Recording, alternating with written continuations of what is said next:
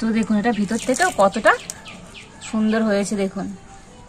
আলুগুলো কিন্তু খুব ভালো মতো সিদ্ধ হয়ে গিয়েছে। নমস্কার বন্ধুরা রূপার রন্ধনশালায় আপনাদের সকলকে অনেক অনেক স্বাগত জানায় তো প্রতিদিনের মতো আজকে চলে এসেছি একটা নতুন রেসিপি নিয়ে। তো আজকে আমি একটা দুর্দান্ত রেসিপি বানাবো। আর এই রেসিপিটা বন্ধুরা সন্ধ্যাবেলা চায়ের সাথে খাবেন জাস্ট জমে যাবে। আর এই বর্ষাকালে তো বিকালবেলা স্ন্যাক্স হিসাবে আপনারা খেতে পারেন, দুর্দান্ত টেস্ট হয় বন্ধুরা। তো কাঁচা আলু দিয়েই আজকে স্ন্যাক্সটা আমি বানাবো। তো আশা করি আজকের রেসিপিটা আপনাদের ভালো লাগবে। তো আপনারা সঙ্গে থাকুন। আর প্রথম থেকে শেষ পর্যন্ত পুরো রেসিপিটা দেখতে থাকুন। এখানে আমি তিনটে আলু নিয়ে নিয়েছি। তো প্রথমে আমি আলুগুলো ছাড়িয়ে কেটে নেব।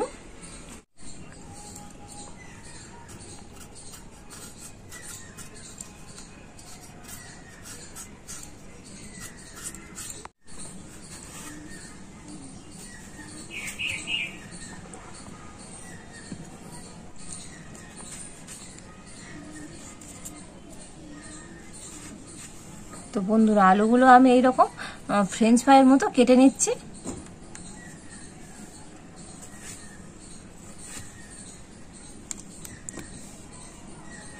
তো এইভাবে সব আলুগুলো আমি কেটে নেব।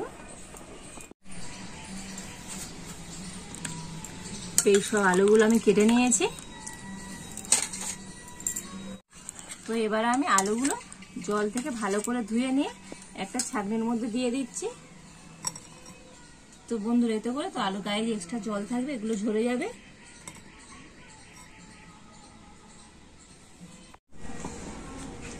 তো আলুটা আমি এইভাবে পাঁচ মিনিট রেখে দেবো, যাতে করে আলুতে সব জল ঝরে যায়।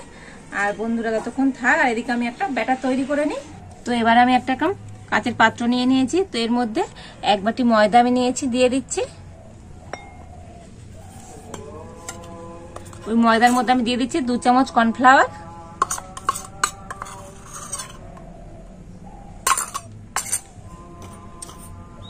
দিয়ে দিচ্ছি পরিমাণ মতো লবণ, হাফ চামচ গোলমরিচ গুঁড়ো, দিয়ে দিচ্ছি হাফ চামচ চাট মশলা,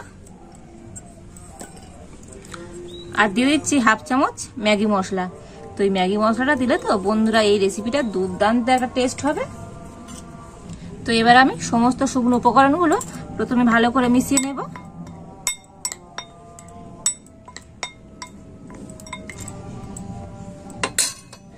তো শুকনো উপকরণগুলো ভালো করে মেশানোর পরে আমি এবার জল দিয়ে দিচ্ছি। তো জল দিয়ে একটা ব্যাটার তৈরি করে নেব। তো বন্ধুরা, অল্প অল্প জল দিয়ে কিন্তু ব্যাটারটা তৈরি করতে হবে। আর ব্যাটারটা তো খুব পাতলা হবে না, একটু ঘনই ব্যাটার তৈরি করতে হবে।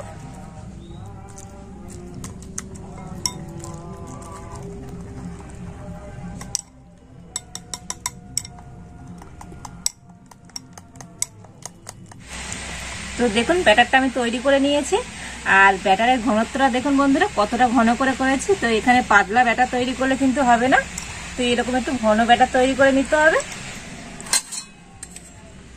তো সব শেষে আমি এবার দিয়ে দিচ্ছি এই চামচের চার ভাগের এক ভাগ বেকিং সোডা দিয়ে দিলাম। দিয়ে আবারও সমস্ত কিছু ভালো করে মিশিয়ে নেব।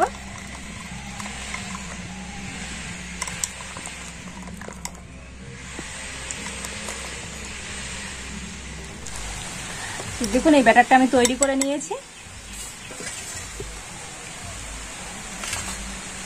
তো এবার একটা জায়গাতে আমি নিয়ে নিচ্ছি ময়দা। তো বন্ধুরা, এই বাটি, এক বাটিরও কম আমি ময়দা নিয়ে নিয়েছি। তো একটা জায়গাতে করে আমি ময়দাটা নিয়ে নিচ্ছি।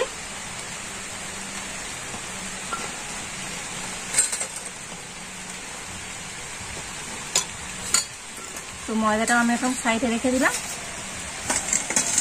তো এবারে যে আলুটাকে আমি জল ধরতে দিয়েছিলাম তো বন্ধুরা, আলুর গা থেকে কিন্তু জল ঝরে গেছে আর আলুগুলো বেশ অনেকটা শুকনো হয়ে গিয়েছে। তো এবার আমি এই একটা একটা আলু এই ব্যাটারের মধ্যে দিয়ে দিচ্ছি।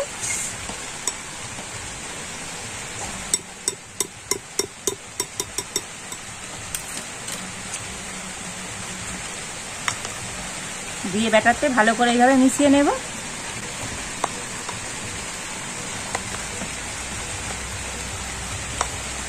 নিয়ে এবার আমি শুকনো ময়দার মধ্যে দিয়ে দিচ্ছি।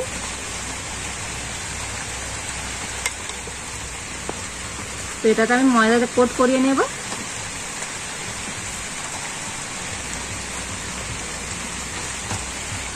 দেখুন, এই একটা কোট করে নিয়েছি। তো আবার একটা আলু এইভাবে আমি প্রথমে ব্যাটারে দিয়ে দিচ্ছি।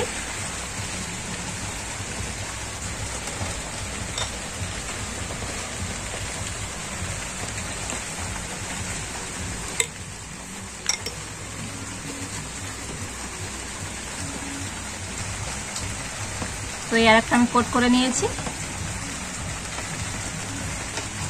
তো এই আরেকটা তৈরি করে নিয়েছি। তো এইভাবে সমস্ত আলুগুলো আমি কোট করে নেব।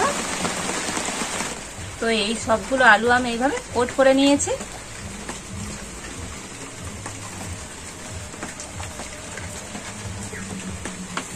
তো এবারে আমি উনুনটা জেলে দেবো।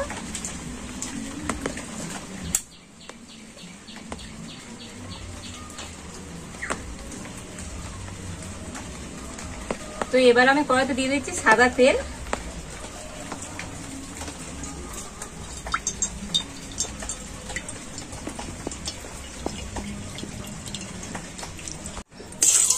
তো তেল গরম হয়ে গিয়েছে।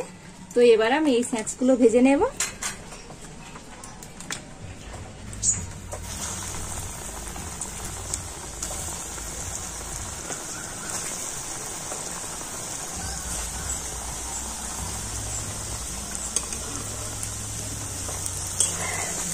তো বন্ধুরা হালকা জাল দিয়ে কিন্তু এই স্ন্যাক্সগুলো ভেজে নিতে হবে।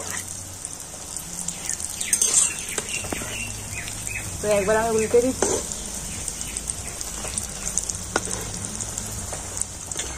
তো দেখুন, এগুলো সমস্ত আমি খুব সুন্দর লাল করে ভেজে নিয়েছি। তো এবার আমি তুলে নেব।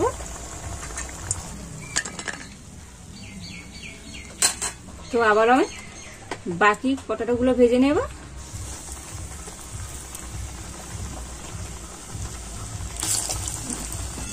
তো এই সমস্ত পটাটো স্ন্যাক্সগুলো আমি ভেজে নিয়েছি, তুলে নেব।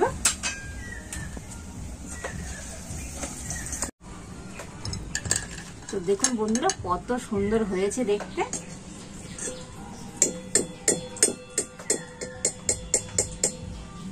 খেতেও কিন্তু বন্ধুরা অসাধারণ ক্রিস্পি হবে।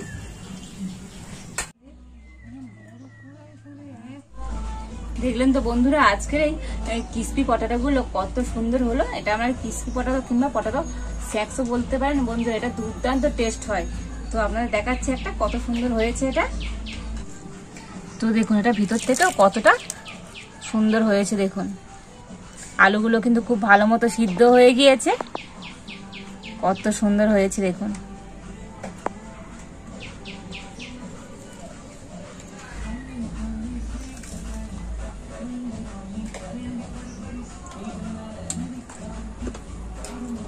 বন্ধুরা, দুর্দান্ত টেস্ট হয়েছে। অসাধারণ সুন্দর লাগছে খেতে। তো বন্ধুরা, বর্ষাকালে বিকালবেলা এরকম গরম গরম আর এই আলুর রেসিপিটা দুর্দান্ত হয়েছে বন্ধুরা। চায়ের সাথে তো জাস্ট একদম ফাটাফাটি। তো আপনারা বাড়িতে অবশ্যই একবার বানাবেন আর আমাকে কমেন্ট করে জানাবেন যে কেমন হয়েছে। আর যদি আজকে আমার রেসিপিটা আপনাদের ভালো লেগে থাকে, তো এটা লাইক করে দেবেন আর সবার সাথে প্রচুর প্রচুর করে শেয়ার করে দেবেন। আর আমার চ্যানেলে যদি নতুন বন্ধু হয়ে থাকে, অবশ্যই চ্যানেলটাকে সাবস্ক্রাইব করে পাশে থাকবেন। তো আজকের এই পর্যন্ত। আপনারা ভালো থাকুন, সুস্থ থাকুন। দেখা হচ্ছে নতুন কোনো একটা রেসিপি নিয়ে।